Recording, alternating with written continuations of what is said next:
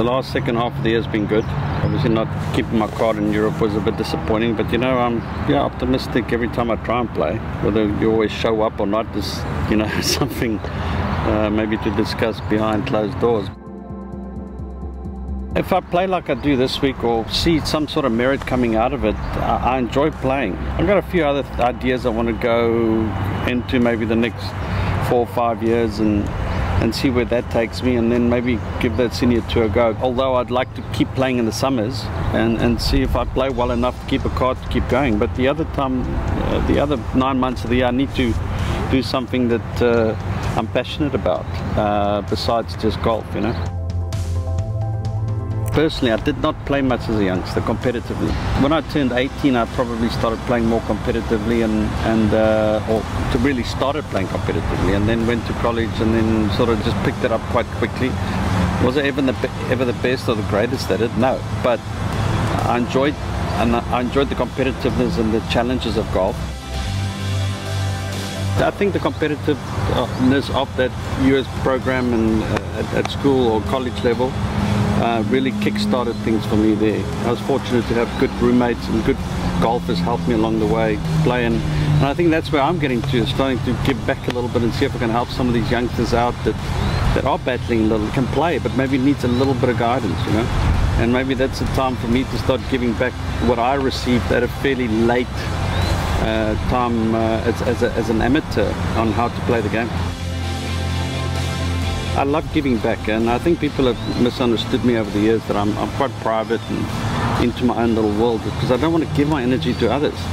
But I feel like now um, I do. You know, Vicky and I, we don't have kids, so maybe I, maybe we can take a few of these kids under our wing and, and teach them a bit of, of, of what it's like to play on tour and, and live, you know a couple of guys I spoke with in the last few months, or maybe the last couple of years, that I've said, listen, why don't we have more guys on tour winning? Why don't we have another major champ? What is the what is the reason for that? You know, I think Ernie and Retief, Charles, Louis won each, but someone needs to step up and say, okay, I'm going to win five majors. And there's no reason why our guys shouldn't be able to do that. And I think there's a little bit of a gap uh, where where it's going missing, and hopefully we can fill that gap and get the next major champ coming out the Sunshine Tour. You know.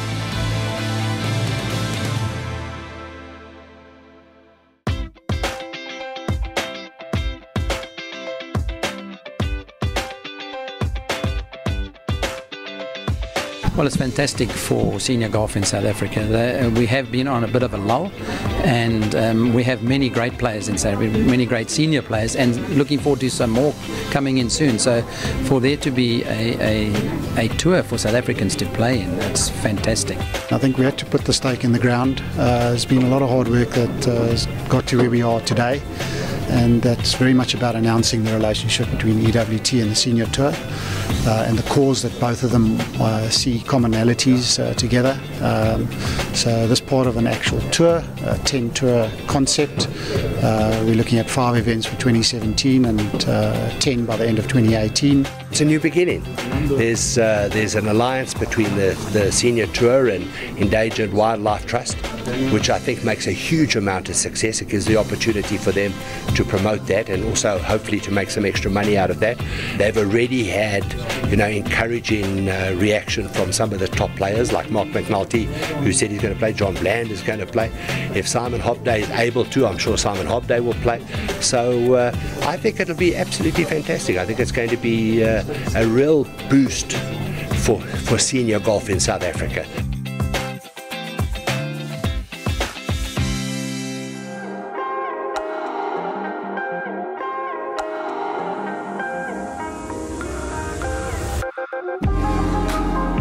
You do have to dig deep in these two tournaments because you know there's a lot on the line. The season doesn't end, but we all get re-ranked. So it kind of does end because if you fall out of that top 50, then you're going to have to pre-qualify for co-sanctioned tournaments, and if you get into it, then you don't have to pre-qualify. So it makes a massive difference. And there's a lot of guys feeling the heat out here this week, myself included. But you do have to you do have to just dig deep and and stay in the moment that you're in, I guess. This is like our majors, you know, so it's um, this is what you practice for, this is what you work up to, try and peak in these events, and um, you know, so I'm real glad my golf is looking good. It can either make or break your year. So uh, and it can turn a very average season to a very good season. So yeah, um, you know, definitely good practice for next week. Uh, playing for a little bit more money this week. So yeah, kind of getting us ready for next week. Next week's a big one. You know, you're trying to find sort of last last event before the sort of re-rank and all of that. So. Um, trying to you know make a move and get into a position to start next year and give yourself the best opportunity going into next year.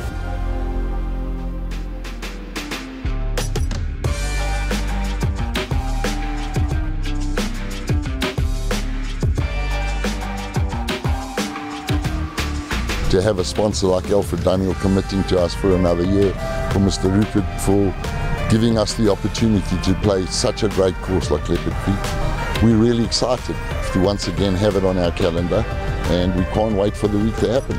Obviously the European Tour is giving a massive opportunity to uh, South African players to, to make that leap into the European Tour and play on a global scale.